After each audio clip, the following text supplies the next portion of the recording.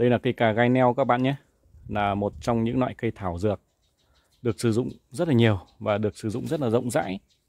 À, bên cạnh với lại cây à, xạ đen là hai cái loại cây thảo dược được sử dụng rất nhiều để à, có thể nói là những người mà không bị bệnh gan ấy, thì cũng có thể uống cái cây xà đen này cái cây xà đen và cái cây cà gai neo này để làm mát gan thanh nhiệt giải độc làm mát cơ thể cũng như là bảo vệ tế bào gan khỏi những cái tác hại bên ngoài nó làm hại đến gan bảo vệ cho cái lá gan luôn được khỏe mạnh. Cà gai neo thì thì rất là dễ sử dụng các bạn ạ và rất là dễ uống thôi. Chắc là đã có rất là nhiều người ờ, đang xem cái video này của quân thì ờ, mọi người đã sử dụng và uống qua cái loại cà gai neo này rồi. Có tác dụng rất là tốt ờ, đối với bệnh gan. Và ngày hôm nay thì quân xin được chia sẻ với các bạn về một số những cái loại cây có tác dụng uh, hỗ trợ điều trị và chữa bệnh gan.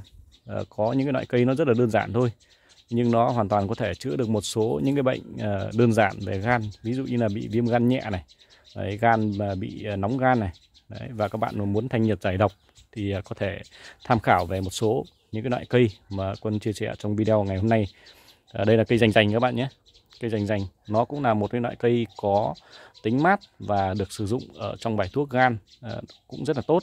Các bạn có thể tham khảo về cái cây rành rành này các bạn nhé. Đấy, cây rành rành này thì à, trong cái bài thuốc chữa bệnh gan của quân thì quân cũng có sử dụng cái cây rành rành này. Đấy nó có tính mát à, gan mà thường thì gan nó bị nóng các bạn ạ. Nó bị nóng nó bị nhiệt mà nó sinh ra nhiều thể bệnh khác. Như những ai mà uống bia uống rượu nhiều uống bia rượu nhiều thì nó nóng mà nó nóng thì nó sẽ làm nóng gan lên. Ở bên này thì có một số những loại thuốc khác nữa. À, ví dụ như là ở đây thì có cây cổ bình này các bạn này cây cổ bình cây thóc nếp này thì à, nó cũng là một cái loại cây mà quân trồng rất nhiều ở trong vườn. Tại vì à, trong cái bài thuốc chữa bệnh gan của quân ấy thì cũng có sử dụng đến cây cổ bình này rất là nhiều các bạn nhé. Cây cổ bình hay còn gọi là cây thóc nếp. Đấy và bên này thì có cũng có cái thuốc chữa chữa bệnh gan nữa quân chia sẻ để mọi người cũng tham khảo. Đây đó chính là cây xà đen các bạn nhé. Đấy, cây xà đen và cây nhân trần cây xạ đen và cây nhân trần. Đều là những cây thuốc uh, nó có tính mát nó rất tốt cho gan. Và đặc biệt cái cây nhân trần này thì uh, uống nước rất là tốt các bạn này. Nhân trần này mà kết hợp với lại cỏ ngọt mà để uống vào mùa hè ấy, uống nước rất là tốt. Và thậm chí thì mùa đông ấy, một cất một cái cốc nhân trần nóng này các bạn ra về hè các bạn uống ấy, nó cũng rất là ấm nó rất là tốt. À, đây là cây sa đen các bạn nhé.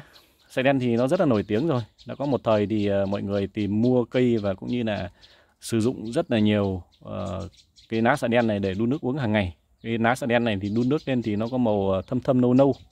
Đấy, đun đặc quá thì nó có màu nâu nâu các bạn nhé. Ừ. Và nó có tính mát uống thì rất là tốt. Có rất nhiều những cái thông tin mà cái cây xạ đen này nó hỗ trợ và điều trị chữa được bệnh ung thư gan. Ờ, các bạn nào mà bị những bệnh liên quan đến gan nhé thì các bạn có thể tham khảo về cái cây xạ đen này.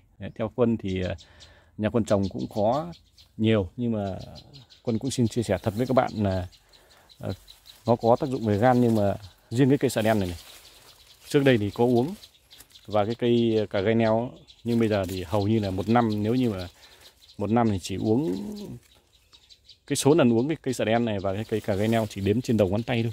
Nó, nó rất ít khi uống dù ở trong nhà mình có.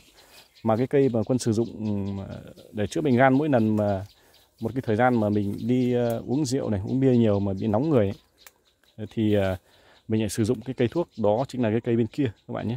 Đấy, cái cây mà quả của nó vàng vàng đỏ đỏ kia. Nhà quân có đỗ trọng các bạn nhé. Đỗ trọng quả này.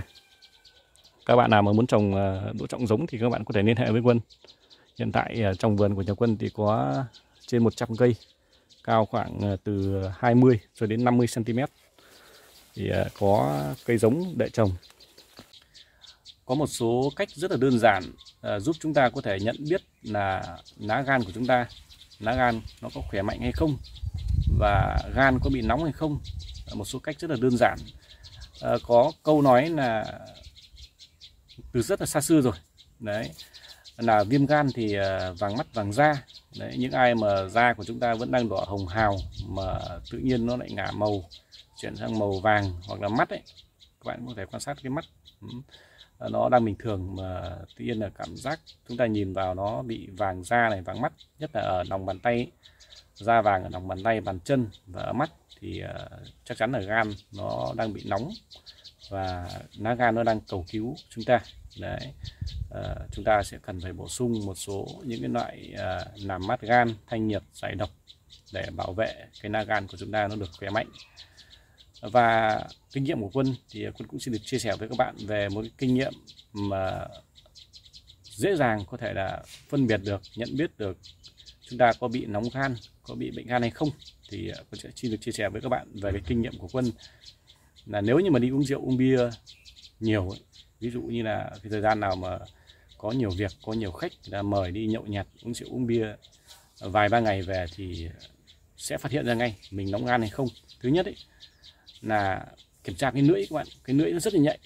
Cái lưỡi nó là một cái bộ phận, nó có rất là nhiều hệ thần kinh, hệ cơ và nó rất là nhạy bén. Chúng ta rất dễ phát hiện là gan nó có bị nóng hay không thì sẽ phát hiện ra như thế này. Thứ nhất mà tự nhiên ngủ đêm hoặc là sáng, chúng ta nằm có cảm giác là nó cứ tê tê, nó rát rát lưỡi, mà cảm giác nó nó khó chịu ở lưỡi đấy nó có biểu hiện là gan nóng các bạn nhé. Và chúng ta kiểm tra lưỡi thè lưỡi ra mà lưỡi nó trắng ấy, thì nó có cái biểu hiện là gan của chúng ta nó bị nóng và nó bị uh, suy giảm cái chức năng gan. Đấy là kinh nghiệm mà mỗi lần mà quân bị như vậy thì uh, hầu như là bị gan nóng các bạn nhé. Chỉ vài ngày hôm sau thôi thì uh, mặt nó sẽ nổi lên một số những cái mụn mà mờ để chứng tỏ là gan nó đã bị nóng. Và mỗi một lần như vậy thì quân thường sử dụng cái cây ở phía sau của quân này rất là sai quả này uống chỉ 5-7 ngày thôi là cơ thể nó mát mẻ à, lưỡi thì nó hết tê nó hết rát nó hết nhiệt và mặt thì nó lại nặn đi hết những cái mụn li ti nhỏ nhỏ nhỏ nhỏ. Thì bây giờ quân sẽ chia sẻ với các bạn à, về cái cây này để mọi người biết thêm về một cái loại cây thảo dược à, nó có tác dụng về gan để mọi người tham khảo và bổ sung thêm một số những kiến thức cần thiết để bảo vệ sức khỏe của chúng ta. Thì quân xin được chia sẻ và giới thiệu với các bạn à, cái cây à, rất là sai quả ở ngay bên cạnh của quân đây.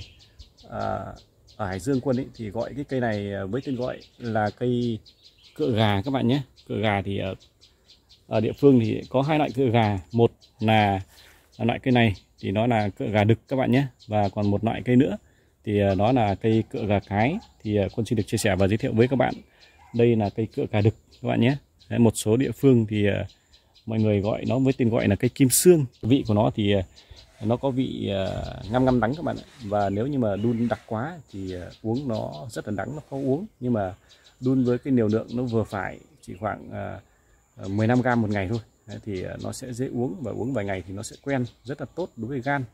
Thì quân là một người thường xuyên sử dụng cái cây uh, cái cây kim xương hay còn gọi là cây gà đực này để uống. Nó có tác dụng uh, tốt đối với bệnh gan nó mát gan thanh nhiệt giải độc được thì quân xin được chia sẻ đến mọi người để mọi người có tham khảo. Cái này thì có thể là sử dụng uh, ná sử dụng cây và có thì có thể là sử dụng cả rễ các bạn nhé. Các bạn xem video hãy bấm like bấm đăng ký để theo dõi những video tiếp theo của quân về những cây thuốc quý và những bài thuốc hay. Xin cảm ơn các bạn ạ.